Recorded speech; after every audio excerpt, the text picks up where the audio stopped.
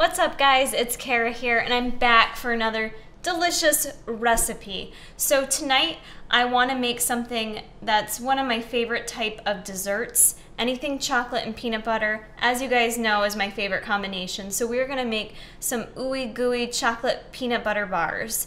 And for protein, I am going to use the MTS peanut butter fluff. Um, you can certainly substitute this out with any other MTS whey protein that you have on hand should work pretty nicely. However, I do not stand behind recipes if you don't use MTS whey. I cannot guarantee how they will turn out. But we're just gonna go ahead and get started. We're gonna start by preheating your oven at 350 degrees. We are gonna bake these, but they do not take too long to bake. What you are going to need is just an 8 by 8 pan of any sort and some non-stick cooking spray. Just spray the shit out of that to lube it up set it, set it aside. All right, to get started, we're gonna start with the wet ingredients first and add them to your bowl. So the first thing I'm gonna add that I'm using today, I am using the P28. This is their standard protein uh, peanut butter spread. Up to you guys, you don't have to use a protein peanut butter. You can get the P28 at tigerfitness.com as well. I like this nut butter because of the creaminess to it. It's got a nice consistency and it also adds some protein to the recipe as well. But you can certainly sub out any other type of peanut butter, almond butter, um, whichever you like. But we're gonna add one full cup of that. And I love, like I said, I love the consistency of this. Um, if your peanut butter is a little bit too thick um, for mixing, if it's not going to be mixable, you can go ahead and maybe heat it up in the microwave for like 30 seconds or so.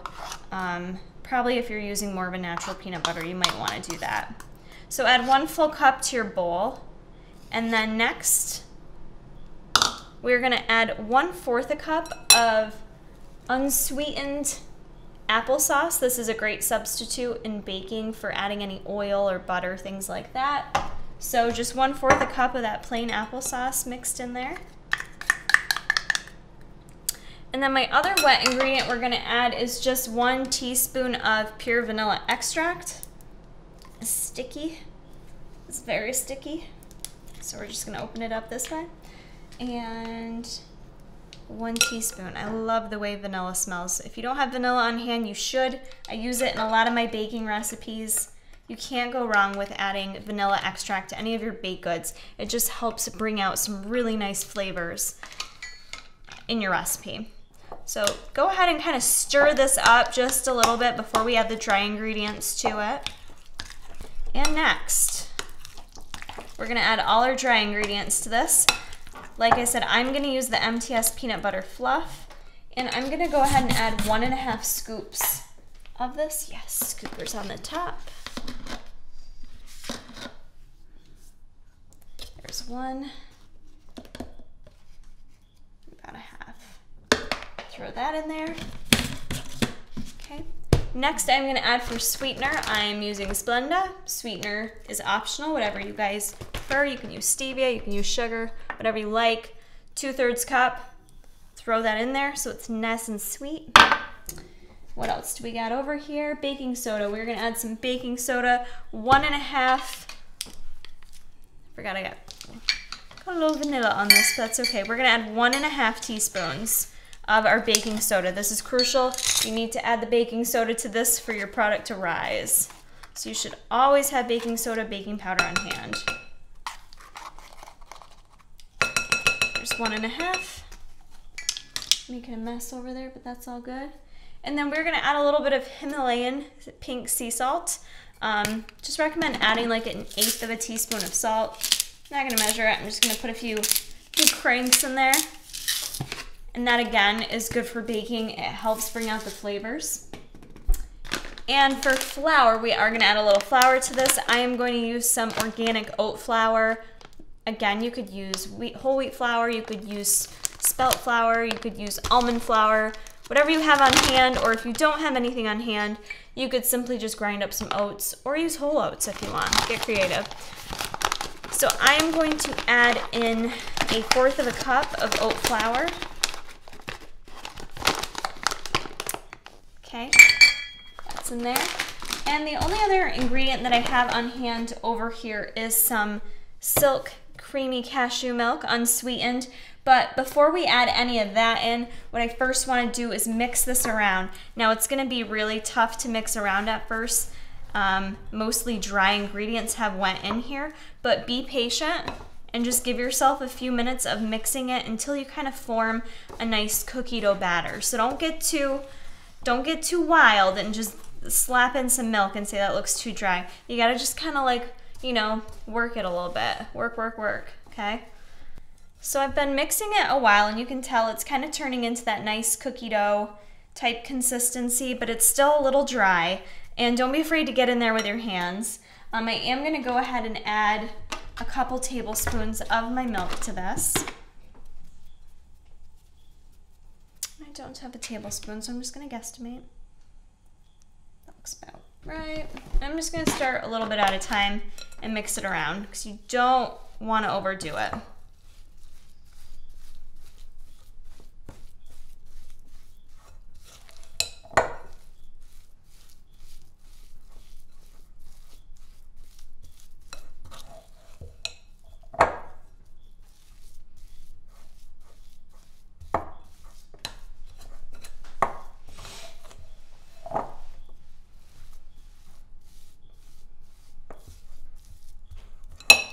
one more tablespoon in.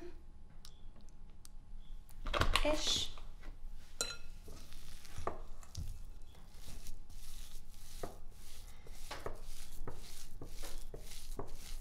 All right, so I did end up adding two full tablespoons, maybe two and a half of the cashew milk, which seems to be perfect.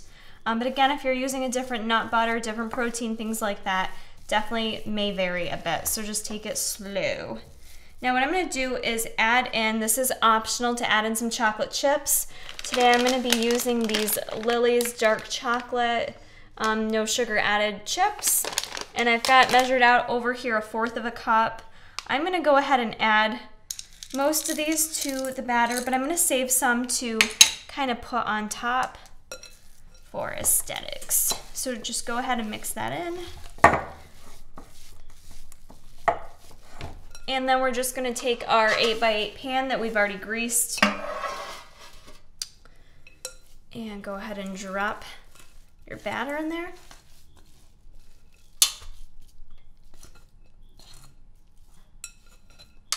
Okay.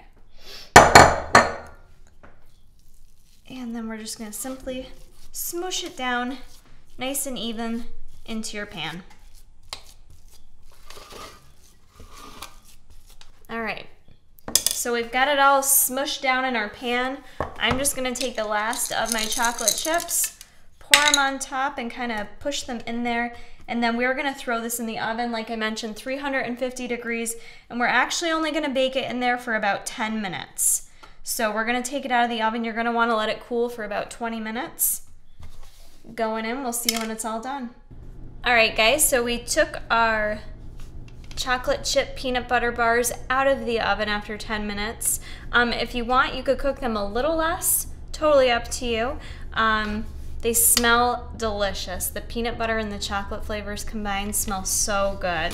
So you're gonna wanna go ahead and you can cut these into 12 bars and you can easily just store them right in the fridge or if you don't think you're gonna eat them within like three to four days, I would throw them in the freezer and these will store just fine. I always suck at cutting stuff evenly. I'll cut one and see if we can get one out and show you what it looks like.